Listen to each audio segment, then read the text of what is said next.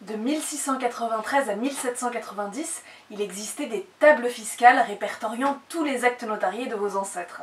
Ces tables, appelées registres du contrôle des actes, sont aux archives départementales en série C. Alors vous pouvez y travailler comme pour l'enregistrement que j'évoquais dans ma vidéo de vendredi dernier. Des tables et registres à but fiscal. Les tables sont alphabétiques en fonction du nom de la personne concernée par l'acte.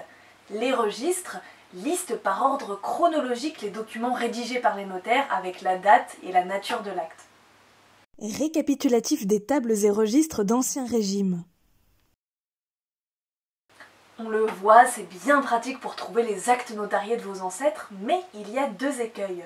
La période où les bureaux de contrôle se transforment en bureaux d'enregistrement et la définition des zones géographiques couvertes par les bureaux.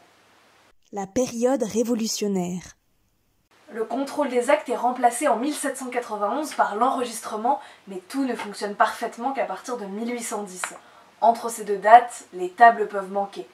Ou bien l'enregistrement a continué à remplir les registres du contrôle, et ces registres à cheval sur les deux systèmes ont été classés par les archives départementales, tantôt l'un en série Q, tantôt l'autre en série C. Donc méfiez-vous.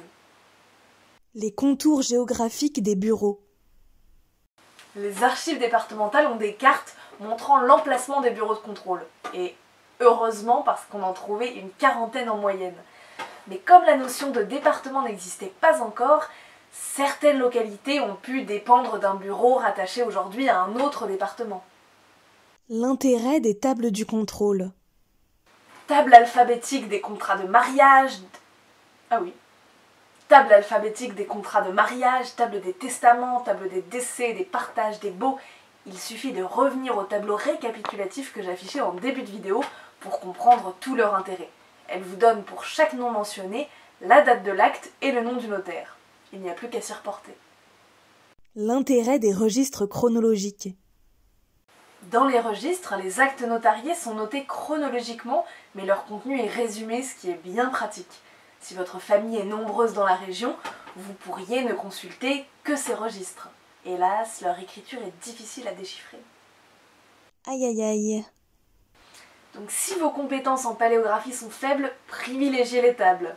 La recherche s'y fait en deux étapes, mais vous déchiffrerez plus facilement les noms de famille et vous serez renvoyé vers les minutes de notaire mieux écrites. À lire pour en savoir plus. Et maintenant, petit contrôle sur le contrôle. En quelle série trouve-t-on le contrôle des actes?